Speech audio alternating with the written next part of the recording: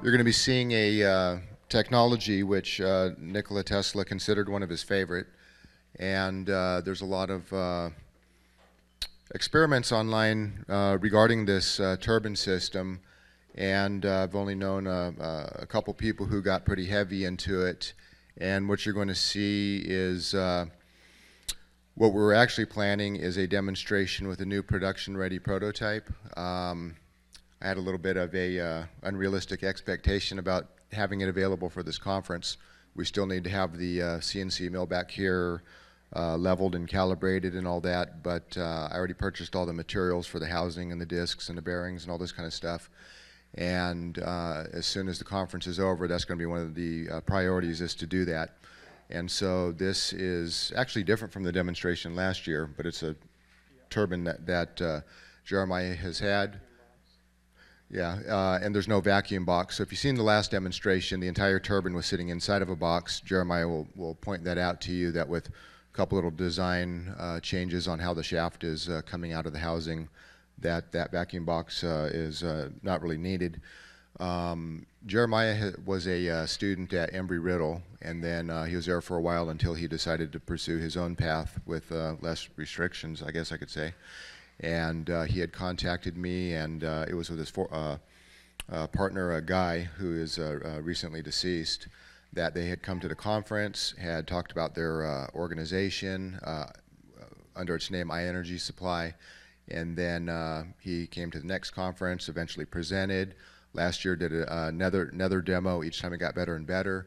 the last two were at the Kootenai County Fairgrounds for the uh, 9th and 10th uh, Energy Science Technology Conference. This one right here, um, this is uh, refined a little bit. This is kind of an, this turbine system here is kind of along the lines of what a, uh, a very uh, beautiful, high precision, highly balanced uh, system is going to be coming along. And when, when, you see it, it's going to blow your mind um, when, we're able to show the completed model. this presentation is going to be about 90 minutes. Um, and this is updated PowerPoint with the for the updates. Okay. So um, after the presentation, Jeremiah is going to show a um, demonstration of this, and then uh, if you have any questions, um, he'll be happy to answer them. We're right before lunch, so if it goes a little bit longer, um, it probably won't, but if it does, I think we're going to be okay with time. Help me welcome uh, Jeremiah Ferwerda. Come on up.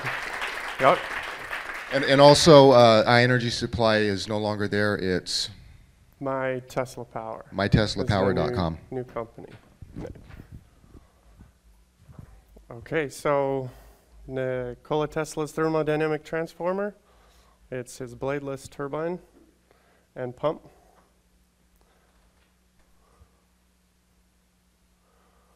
So why use the Tesla turbine slash pump? It's a power system like a gas generator that can run on any fuel that burns, such as the, this list here. Um, thermal solar, geothermal. Uh, later we'll be doing more experiments with geothermal. You can use a refrigerant or a different gas that will boil at even lower temperatures than water, of course. It will be a little bit less efficient than running with the water with a, with a slightly higher temperature. But with geothermal, if you have enough area um, that you have like a copper pipe going through the, the earth back and forth, you can extract a lot of energy from a large area of earth. And in the wintertime, it's so cold outside in a lot of places when there's no sun, you can slowly extract, or you can extract energy over time. I mean, pretty, actually pretty rapidly, but you just won't be able to it just won't be as efficient. But there's so much energy there um, in geothermal that it doesn't matter if it's like 6% efficient. You can constantly extract the energy from that system.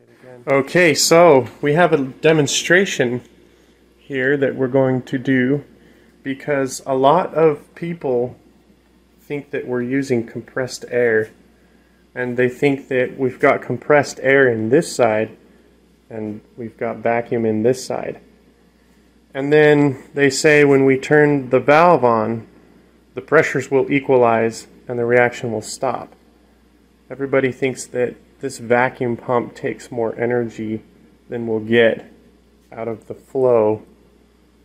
Okay, so now that we have everything vacuumed out of our, um, we have all the air, the ambient air, CO2, oxygen, and nitrogen, pulled out of our system, and it's completely sealed.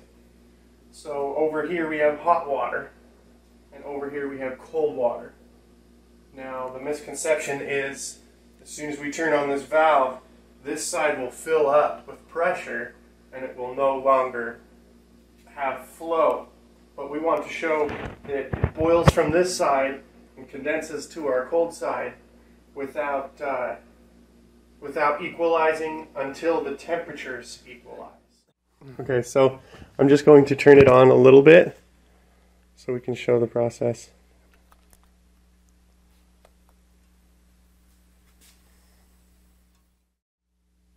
Here's this will show demonstrate the the boundary layer of the turbine.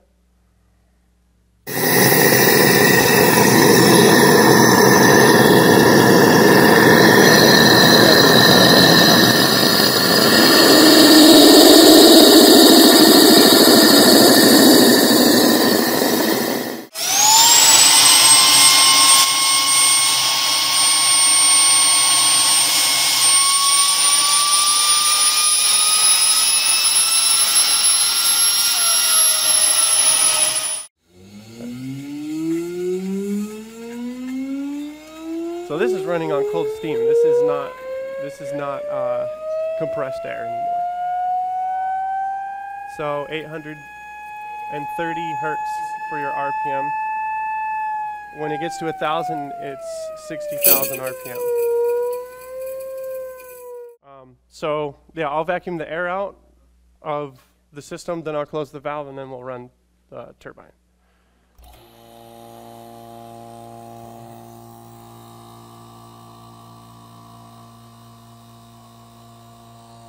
So this is the vacuum on the condenser, and over here will be the pressure on the boiler. It's at, oh, I wanted to point out, there's no pressure in there. So usually you have to, for a steam engine, you have to have positive pressure, which is, we don't have here. Ooh. Okay, so now that we have all the, the air sucked out, or most of it, we'll run the test fast because I do have leaks in the system and the performance will drop pretty rapidly. So that's about 300 hertz. I'm not going to go very fast just because I want proper setup here. I want to, I want to, if I start going 150, 60,000, then it'll start getting dan- dangerous for the crowd and everything. My question is, okay, do you buddy. see a system like this being something that's in continual use, or is it just a temporary, you know, Oh, use it for an definitely hour? continuous use. Okay. So, so, well, you might have like, like a bank of capacitors or mm-hmm. batteries or whatever, just to supply a little bit of current instantly when you flip something on, then the turbine has time to, to start speeding up. And if it's something heavy, then the turbine would just take the whole load um, after it's up to, to speed. So you might, may or may not want the thing just running all the time. Um, you could have a, a stop and a starting, um, something that would stop and start the turbine and then start supplying the power. Uh, s- capacitors would work. Can you give us an idea, you're, you're trying to come up with a six-inch um, Yes. uh, turbine? Yep. And then ultimately, I'm, I'm assuming you'll, you'll mate that with a, a six-inch pump? Yes. Okay, Yeah. and then you'll, you'll have the full, the full system? hmm And then we'll test. Then we'll test using our analytical equipment the Right. differences. So, and then at, at, at the, at the rated speed that you were, you would run that at, what do you think the, the power rating of that is, that unit will be?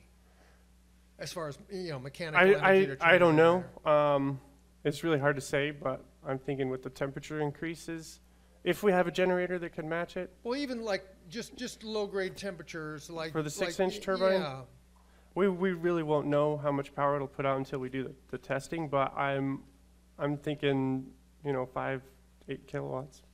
right, okay, so, so power. that, yeah, so in other words, that would be, Yeah. th- that, that's a really good start for a home, home Yeah, power but plant. but but I'm not making any claims for it No, no, no, or no, I any of understand- that. I understand. yet, That's a- so- that's a But that's goal. just my that's where I'm kind of Right, sitting.